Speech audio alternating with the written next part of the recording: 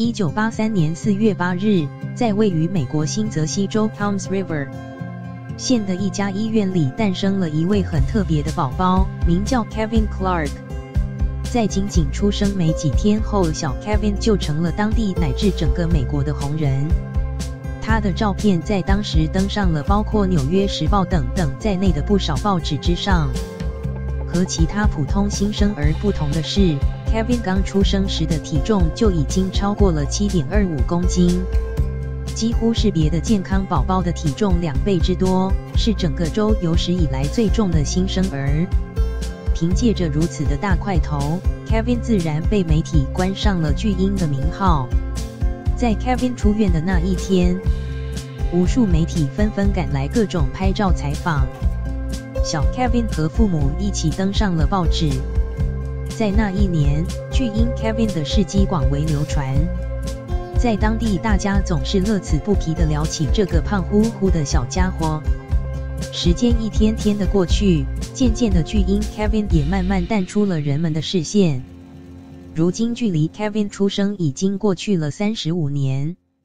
曾经的巨婴这些年过得如何？现在又是什么一副模样呢？前不久，美国媒体再次找到了三十五年前轰动一时的 Kevin。如今的他蓄起了大胡子，不过和小时候没有变化的是，在一众同龄人中，Kevin 依然是那个最大块头的一位，带着巨婴的名号，从小一路长到大。Kevin 的成长之路和普通孩子稍有那么些不一样。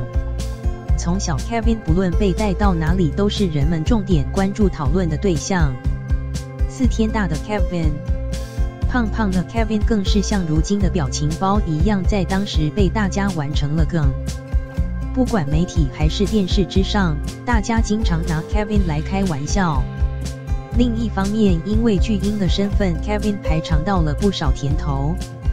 出生没几天后，他就替父母赚到了人生第一桶金。有媒体需要我的故事，所以在当时给了我父母两千五百美元。这笔钱可不是小数目，在当时对我们一家来说很重要。依靠这笔钱，我们飞到了加州和我的祖父母团聚。我的父母也安家并退休在了加州。巨婴的称号甚至让当时小小年纪的他比起其他同龄人更有竞争力。在自己还是个儿童的时候，他就提前收到了一些工作邀请。我收到过 NFL 美国职业橄榄球联盟的来信，信中说他们会给我提供一份工作，那就是等我长大后可以考虑为旧金山巨人队效力。此外，我小时候还收到了美国海岸警卫队的一封信。他们希望当我长到够大的时候，可以去参观一下他们的学院。或许以后经过学习，可以。